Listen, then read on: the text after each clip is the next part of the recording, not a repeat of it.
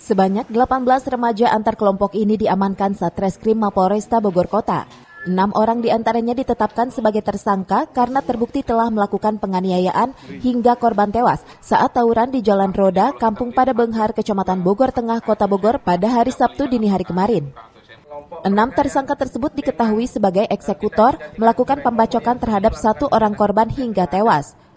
Aksi tawuran ini dipicu adanya dendam lama. Sebelumnya, kedua kelompok remaja ini melakukan janjian melalui media sosial untuk tawuran di lokasi kejadian.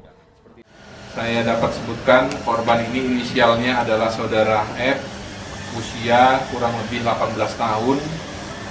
Eh, kemudian untuk alamat ada di kampung pada Benghar, Kelurahan Babakan Pasar, jadi memang warga setempat dan meninggal dunia akibat luka terbuka yang diduga diakibatkan oleh senjata tajam.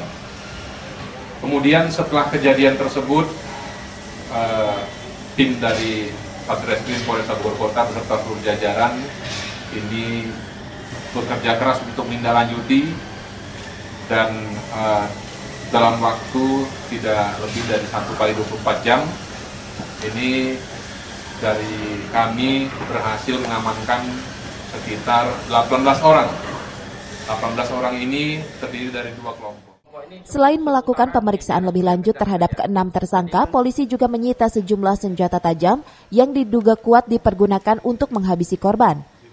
Dari Kota Bogor, Herman Bons melaporkan.